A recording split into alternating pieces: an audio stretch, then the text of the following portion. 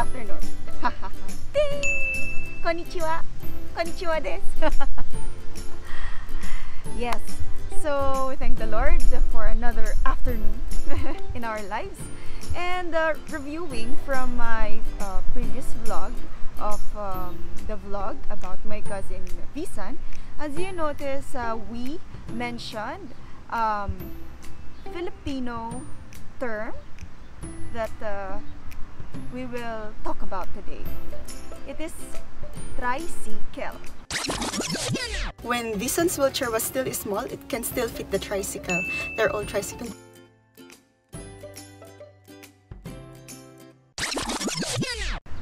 So it is a uh, popular uh, means of transportation in the Philippines, uh, especially in the rural areas. You know, uh, the tricycle, it's uh, very funny because um, for me, especially living in the barrio, they call, in the countryside, we have a lot of this um, uh, tricycle.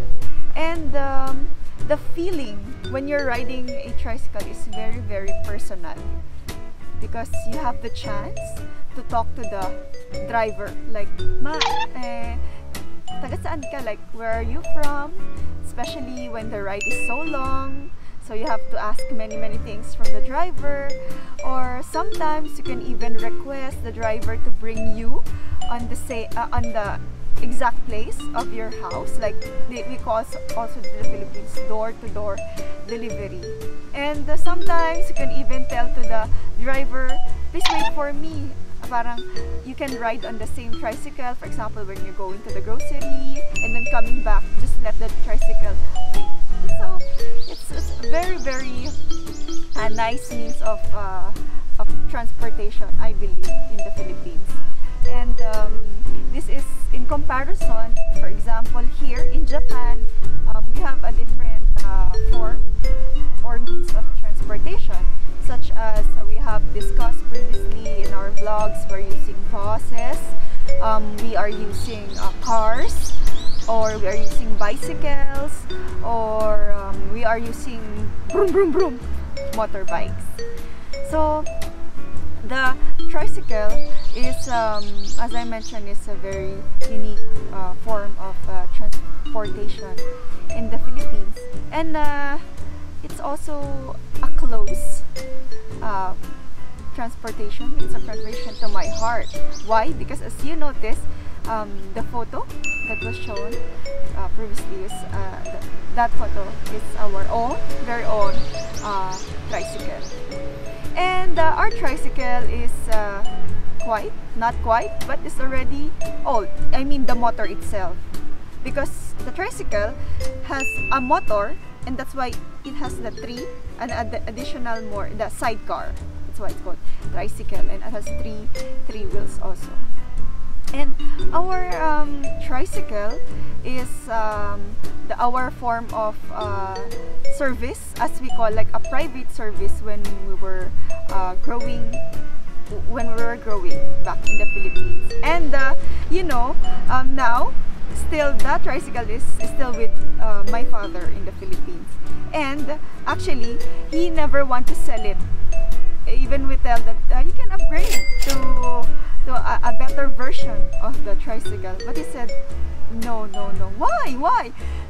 Uh, we can uh, support it. And no, it, you don't understand it's it's the, those memories it's the sentiments that le was left in the tricycle okay then i shut my mouth oh, no. and uh, yes i mentioned two words sentiments and memories and uh, these two words um, i believe is uh, very much related to the filipino culture especially sentiments and memories regarding or related to the uh, filipino family and um, the Philippines is uh, a family-oriented um, country, as most, or if you don't know, it is.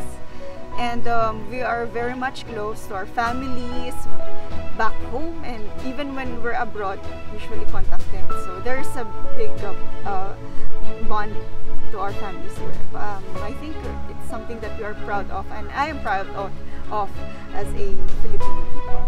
And uh, I mentioned that my father did not want to sell it or upgrade it because of those sentiments and memories left on that tricycle one one maybe slowly I'll share to you those memories that was left on the tricycle. So when my mother was still alive, as I mentioned in my previous vlogs that my mother already died. I want to share you that uh, my mother died nine year when I was still nine years old. And you know, 20 years looking back, I could have not reached this point without that challenge. And it's the same today. Um, that tricycle was used when we are going to shop, when we were still young, going to shop in the palenque, in the market, and also going to school, and also when the times that uh, she was sick, it was also this tricycle that was used for using the uh, going to the hospital. And uh, this tricycle is the same tricycle um, that brings us to many many uh, places that uh, brought uh, many memories as a family. And up until we finished, my sister and me finished university, the tricycle was still uh, a witness of everything that was happening in our lives as a family. And even until now that I went to Japan and sometimes going home for travel to the Philippines, we still use the same uh, tricycle. So, more than a tricycle, more than a material thing, now I understand that it's those sentiments or the memories that was left there that my father did not want to give up. And uh, I understood that uh, this tricycle is not just uh, any material thing, but already been part, like part of our family. And so um, there are things that uh, this um, form of transportation and my father taught me in life. And that's why I think uh, these values are those that are bringing me still here in different places wherever I go and I keep very close to my heart. This tricycle of course my father taught me one, simplicity. Simplicity in life. Like, uh, you know, when you have in Philippines, we have the tricycles, like, oh, we're just in the normal mode of living. And uh, like, uh, you know, as compared to a car, like for for me, when I have the car, like, oh, rich. But this tricycle is, when you see it's just very, very simple. It can go to the barrio and everywhere.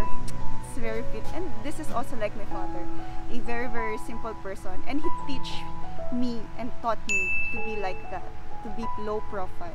That's why I continue to keep that in my heart. Number two, um, this tricycle and my father also taught me the sense, the attitude of also gratitude. As I also mentioned in some of my vlogs, that important, that value, the importance of that value, gratitude. One of the most important is to become grateful, grateful, gratitude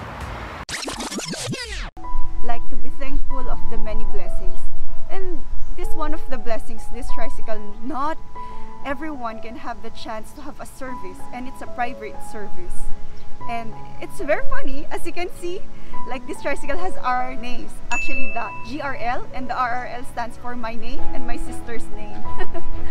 and every day that my father is thanking for the gratitude and appreciation of life. And number three, finally, is humility.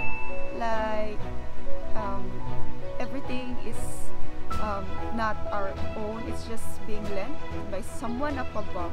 And so, yeah, we remain uh, simple and we thank the Lord. And we're very much humbled because it's not ours, but we use it to serve other people. Yes, you know, many people already ride in that in that um, in that tricycle. many many people. So yes. Now um, I support also keeping the tricycle sentiments and memories because we will never forget. This is something that I really learned in life that even if you become very very successful in life, never forget the road that you took before reaching that point. And up until now, I'm keeping that sense of thinking. To never forget where I came from, my roots. And uh, I can never be where I am without these places, without these people, without these values and attitudes that kept me here. So thank you so much. I hope you keep this in mind. Simplicity, gratitude, and humility for me are values that you must live by.